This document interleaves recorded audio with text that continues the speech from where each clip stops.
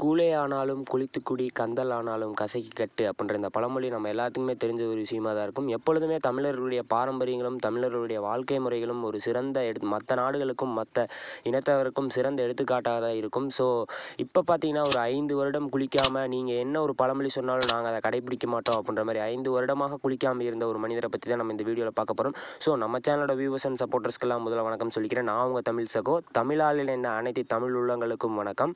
So வாங்க இன்றைக்கி நம்ம டேரெக்டாக வீடியோக்குள்ளே போயிடலாம். அதுக்கு முன்னாடி நீங்கள் வந்து நம்ம சேனலுக்கு புதுசாக இருந்தால் நம்ம சேனலை மறக்காமல் சப்ஸ்கிரைப் பண்ணிடுங்க அதே மாதிரி பக்கத்தில் இருக்க பெல் ஐக்கானை ப்ரெஸ் பண்ணி வச்சுக்கோங்க. அப்போ தான் நம்ம போடுற ஒவ்வொரு வீடியோவும் உங்களை தேடி வரும். ஸோ வாங்க வீடியோக்குள்ளே போகலாம். என்னடா அவள் இன்ட்ரோ கொடுக்குறத பார்த்தாலே வேறு லெவலில் இருக்குது அப்படின்னு யோசிக்காதீங்க. ஆமாம் நம்ம அஞ்சு ஆண்டு குளிக்காத ஒரு மனிதரை பற்றி தான் இன்றைக்கி பார்க்க போகிறோம் அவர் வந்து ஒரு சராசரியான மனிதன் கிடையாது. அவர் வந்து ஒரு டாக்டர் என்ன டாக்டர் ஏன் இவ்வளோ சுத்தபத்தம் இல்லாமல் குளிக்காமல் இருக்கார் அப்படின்னு யோசிக்காதீங்க. அவர் சொன்ன ஒரு பதில் நீங்கள் ஏன் குளிக்காமல் இருக்கீங்கன்னு கேட்டால் ஆம் ஐந்து ஆண்டுகளுக்கு முன் நான் குளிப்பதை நிறுத்தினேன். இது சாதாரண விஷயமாகத்தான் தோன்றுகிறது. நீங்களும் பழகிக்கொள்வீர்கள் அப்படின்ற மாதிரி அவர் நம்ம டாக்டர் சொல்லியிருக்காரு. அந்த டாக்டர் பார்த்தீங்கன்னா வேறு யாரும் இல்லை. அவர் வந்து ஜேம்ஸ் சாம்ப்ளின் அவர் பேர். அவர் வந்து அமெரிக்காவை சேர்ந்தவர். அவர் முப்பத்தி ஏழு வயசு ஆகுதவருக்கு அவர் வந்து இ- ஏல் பல்கலைக்கழகம் அப்படின்ற ஒரு பல்கலைக்கழகத்தில் பப்ளிக் ஹெல்த் ஸ்கூலில் வந்து பேராசிரியராகவும் ஒரு தடுப்பு மருத்துவ நிபு நிபுணராகவும் வேலை செஞ்சுட்டு வராரு அவர் பார்த்தீங்கன்னா கடந்த இரண்டாயிரத்தி பன்னிரெண்டாம் ஆண்டு தி அட்லாண்டிக் என்ற அமெரிக்க பத்திரிகையில் நான் குளிப்பதை நிறுத்திவிட்டேன் வாழ்க்கையை வந்து தொடர்கிறது என்ற மாதிரி தலைப்பில் ஒரு கட்டுரை வெளியிட்டிருந்தார். அதில் அவர் என்ன சொல்லியிருக்காரு பார்த்தீங்கன்னா நம்ம வாழ்க்கையில் இரண்டு முழு ஆண்டுகள் வந்து நம்ம குளிப்பதற்காக செலவிடுகிறோம். அதனால் எவ்வளவு நேரமும் எவ்வளவு பணமும் எவ்வளவு தண்ணீரும் வீணாகிறது. அந்த வீணாகும் விஷயங்களை நான் நிறுத்த வேண்டும் என்பதற்காக நான் குளிப்பதை நிறுத்துகிறேன் அப்படின்ற மாதிரி அவர் சொல்லியிருந்தார். இரண்டாயிரத்தி இருபதாம் ஆண்டு clean the new skin science of skin and beauty of doing less என்ற புத்தகத்தில் அவர் வந்து இதை வந்து இன்னும் வந்து விரிவாக அவரோட அனுபவத்தை வந்து பகிர்ந்திருக்காரு. இது ஒரு எந்த ஒரு சாமானிய மனிதனாலையும் இதை வந்து செய்ய முடியாது அப்படின்ற மாதிரிலாம் கிடையாது அப்படின்னு அவர் சொல்லியிருக்காரு. ஸோ இவர் என்ன சொல்கிறாருன்னு பார்த்தீங்கன்னா இது வந்து நான் வேடிக்கைக்காக இந்த விஷயத்த பண்ணலை இது வந்து எனக்கு நான் நன்கு உணர்ந்து வந்து இந்த விஷயத்த பண்ணுறேன் அப்படின்ற மாதிரி சொல்லியிருக்காரு. குளிப்பதை நிறுத்தி அவர் வந்து சொல்கிறாரு குளிப்பதை நிறுத்தினாலும் நான் வந்து கை கை ம வாய் பல் துவக்குவது அந்த மாதிரி விஷயத்தெல்லாம் நான் நிறுத்தலை. மற்ற உடல் உறுப்புகளை வந்து நம்ம வந்து சு- சுத்தம் பண்ணணும்னு அவசியம் இல்லை அப்படின்ற மாதிரி அவர் சொல்லியிருக்காரு. இது ஒரு வேடிக்கையான விஷயமாக தான் இரு இருந்துட்டு வருது இந்த நாள் வரைக்கும்.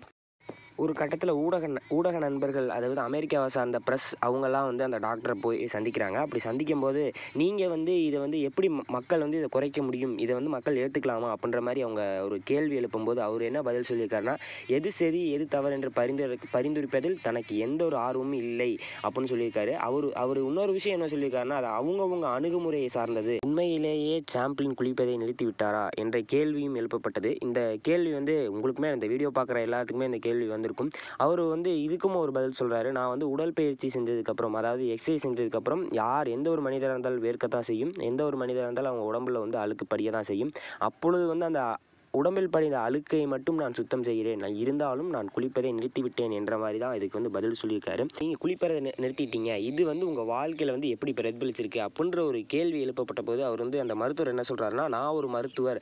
இது வந்து என்னோட ஆராய்ச்சிக்காக மட்டும் மருத்துவர்கள் ஆராய்ச்சி செய்வதற்காக மட்டும் நான் இந்த விஷயத்தை பண்ண கிடையாது. நான் இதற்கான என் ஆராய்ச்சி புத்தகத்திற்காகவும் இதை பண்ண கிடையாது.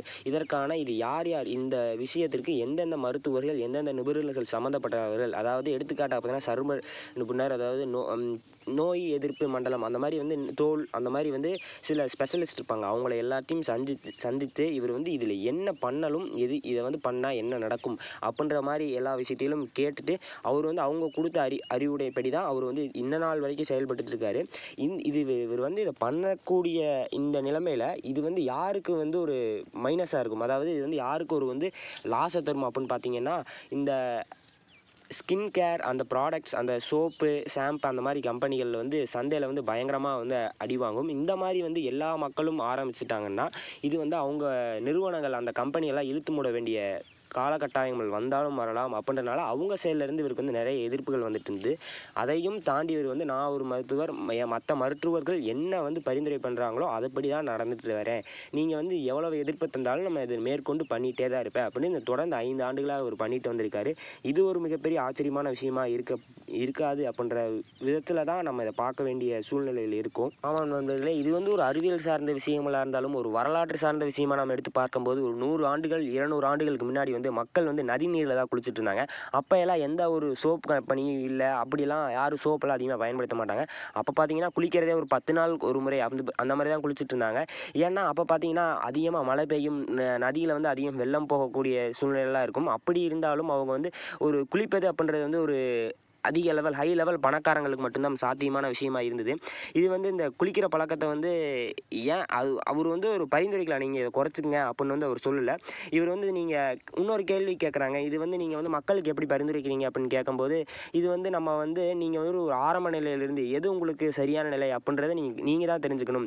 ஒரு சிலர் வந்து குறைவாக தண்ணீர் செலவழிப்பார் ஒரு சிலர் குறைவான நேரம் குளிப்பார்கள். இந்த மாதிரி மக்களில் வந்து பலவிதமான ஒரு இருக்கும்போது அவங்கவுங்க விருப்பத்திற்கு அவங்களுக்கு வந்து இது சரி எது தவறு அப்படின்னு அவங்களுக்கு தெரியுன்றனால அவங்க அதை வந்து அந்த முறையில் கடைபிடிக்கணும் அப்படின்ற மாதிரி சொல்கிறாரு இந்த ஒரு விஷயத்த பிசிசி அறிவியல் பத்திரிகை வந்து அவர் அந்த டா டாக்டர் அதாவது அந்த மருத்துவரனை போய் சந்திக்கும் போது அவர் அவங்க வந்து கேட்ட கேள்வி உங்கள் உடலிலிருந்து ஒரு துர்நாற்றம் கண்டிப்பாக வீசியிருக்கும். உங்கள் உடம்பில் வந்து ஒரு கெட்ட வாசனை அடிச்சிருக்கும் அது வந்து உங்கள் மனைவியோ உங்கள் அருகில் இருப்பவளோ உங்களுக்கு சொல்ல தயங்கியிருக்கலாம் அப்படின்ற மாதிரி சொன்னதுக்கு அவர் வந்து சொன்ன பதில் என்னன்னா ஆமாம் என் உடலிலிருந்து துர்நாற்றம் வீசியது அது உண்மைதான். ஆனால் ஒரு கட்டத்திற்கு அப்புறம் என் உடலிலிருந்து எந்த துர்நாற்றம் வீசல அது வந்து எனக்கு பழகிருச்சு அப்படின்ற மாதிரி அவர் சொல்கிறாரு ஸோ வந்து இவர் வந்து இன்னொரு விஷயம் சொல்கிறாரு அந்த ஒரு இரநூறு ஆண்டுகளுக்கு முன்னாடி முன்னாடி வந்து யாரும் வந்து சோப்பு அந்த மாதிரி எந்த ஒரு திரவிய பொருள்களும் பயன்படுத்தி குளிப்பது கிடையாது.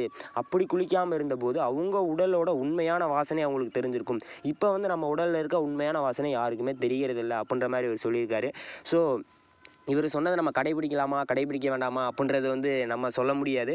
ஸோ அங்கே வந்து அவருக்கு என்ன சூழ்நிலை அவரோட உடல்நிலை அவருக்கு தெரிஞ்சு அவர் வந்து இதை கடைபிடிச்சிட்டு வராரு.